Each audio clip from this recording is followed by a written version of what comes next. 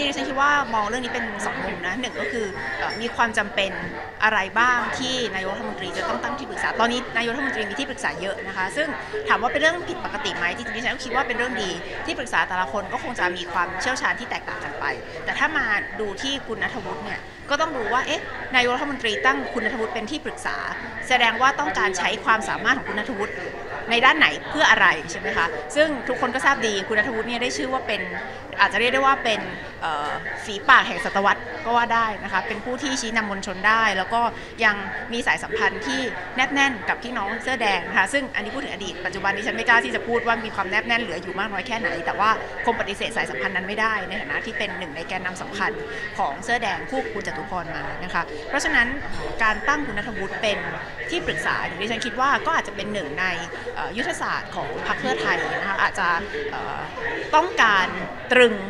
มวลชนเอาไว้นะคะเพราะว่าจริงๆนะวิเคราะห์หลายคนก็ก็มองว่าวันนี้เนี่ยรัฐบาลเหลือมวลชนหลังอยู่น้อย ซึ่งถือว่าเป็นเรื่องแปลกในรอบ 20 ปีที่ผ่านมาพรรคเพื่อไทยเนี่ยไม่ว่าจะอยู่ในสถานการณ์ไหนถูกรัฐประหารสองครั้ง มีมวลชนอยู่ข้างหลังโดยตลอด แล้วก็เป็นมวลชนที่มีจำนวนมหาศาลแล้วก็มีความเข้มข้นสูงนะคะแต่มาวันนี้เนี่ยเหมือนกับว่าหันไปข้างหลังแล้วมันอาจจะเริ่มหลังมันว่าง เพราะฉะนั้นก็อาจจะใช้คุณนัทวุฒิในการตรึงมวลชน หรือว่าเรียกมวลชนกลับมา ซึ่งก็น่าสนใจว่า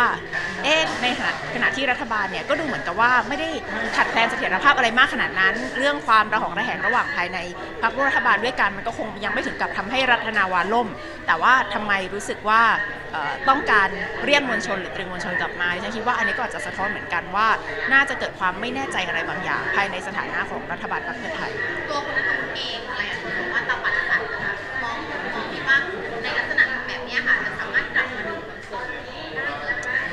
ว่าสิ่งที่สำคัญที่สุดนะคะในฐานะที่ฉันเป็นนักการเมืองเช่นเดียวกัน สิ่งที่สำคัญที่สุดสำหรับชีวิตนักการเมืองก็คือ ความเชื่อมั่น trust ความเชื่อมั่นที่ประชาชนมีต่อเรา ไม่ว่าเราจะแพ้เลือกตั้ง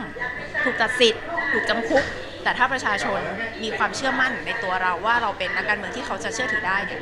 เราก็จะไม่ตายดิฉันคิดว่านักการเมืองจะตายในทางการเมืองก็ต่อเมื่อสูญเสีย ความเชื่อมั่นตรงนั้นไปคำถามตรงนี้ก็คือว่า คุณนัทวุฒิได้สูญเสียความเชื่อมั่นตรงนั้ไปหรือเปล่าเอ่อมองในมุมของการเอามาจัดการมองที่กำลังจะออกมาต่อหน้ารัฐบาลนี่เป็นไปได้ไหมดิฉันยังไม่เห็นนะคะว่าทิศทางของการชุมนุมจะเกิดขึ้นอย่างรวดเร็วรุนแรงในลักษณะที่จะเป็นการโค่นล้มรัฐบาลได้ อันนี้พูดอย่างพูดอย่างมีความกังวลใจนะว่า เอาจริงๆเนี่ยเราแทบจะไม่เห็นการชุมนุมที่โค่นล้มรัฐบาลได้นะในประเทศเนี้ยการโค่นล้มรัฐบาลทำผ่านรัฐประหารหรือ ศาลประหารนะคะก็คือใช้กลไกองค์กรอิสระ กลไกศาลหรือว่ากลไกรัฐประหาร การที่มวลชนจะออกมาแล้วขับไล่ผู้นำได้จริงเนี่ยดิฉันยังแทบจะนึกไม่ออกเลยนะคะเพราะฉะนั้นในวันนี้เนี่ยรัฐบาลไม่ได้ถือว่าอยู่ในสภาวะเสี่ยงต่อการถูกมวลชนสั่นคลอนมากขนาดนั้น เพราะฉะนั้นการบอกว่าการเอาคุณนัทวุฒิออกมาเป็นยันกันม็อบเนี่ยดิฉันคิดว่า ข้อแรกยังไม่ได้มีความเสี่ยงที่จะเกิดถึงขั้นม็อบโค่นล้มรัฐบาล ข้อที่สองคุณนัทวุฒิเองก็อาจจะไม่ได้ศักดิ์สิทธิ์ขนาดนั้น คิดว่าสมรภูมินะคะกลับมาเนี่ยเป็นเพราะว่าเขาเรียกร้องแบบนี้ไหมหรือว่าเป็นตำแหน่งต่างตอบแทนปะคะขอยังไม่ได้ยิน ตำแหน่งต่างตอบแทนไหมคิดว่าคุณนัทวุฒิเองเดาใจนะดิฉันเองก็เคยพูดคุยกับคุณนัทวุฒิสองสามครั้งตามงานอย่างเป็นทางการต่างๆดิฉันคิดว่าคุณนัทวุฒิลำบากใจลำบากใจที่จะกลับมา คนเราพูดออกไปแล้ว แล้วก็ต้องกลับคืนคำแล้วก็กลับเข้ามาเนี่ย แล้วก็เอ่อต้องมา เรียกว่าอะไรดีหาเหตุผลในการกลับมาดิฉันคิดว่าคุณนัทวุฒิลำบากใจ แต่ว่าในในทางหนึ่งนะอย่าไปให้ความสำคัญกับเรื่องของตบัดสัตว์ไม่ตบัดสัตว์เท่ากับสิ่งที่อยู่เบื้องหลังว่าต้องตบัดสัตว์เพื่ออะไรตบัดสัตว์ไปทำไมนะคะไอ้ตบัดสัตว์นั้นมันตบัดสัตว์อยู่แล้วนะคะไม่ว่าจะพูดให้สวยงามขนาดไหน แต่ว่าเหตุผลที่ต้องตบัดสัตว์นั่นต่างหากคือสิ่งที่สำคัญและคิดว่าวันนี้สิ่งที่ต้องขีดเส้นใต้ก็คือ มันชัดแล้วใช่ไหมว่า การที่คุณบอกว่าคุณอยู่กับการเมืองที่เป็นจริง มันจะเพิ่งมาเป็นจริงวันนี้ไม่ได้ เพราะว่าวันนั้นที่คุณโดนรัฐประหาร ถ้าคุณบอกว่าคุณเป็น pragmatist อยู่กับการเมืองที่เป็นจริงเนี่ยคุณก็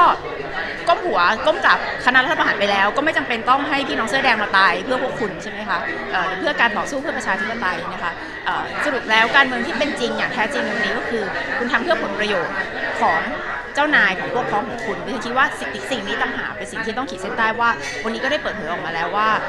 ที่บอกว่าต่อสู้เพื่อความเป็นธรรมเรียกร้องความเป็นธรรมให้พี่น้องประชาชนเรียกร้องให้ประชาธิปไตยนั้น มันไม่ใช่การเมืองที่เป็นจริงก็คือ เรียกร้องเพื่ออำนาจของคนที่คุณรับใช้ต่างหาก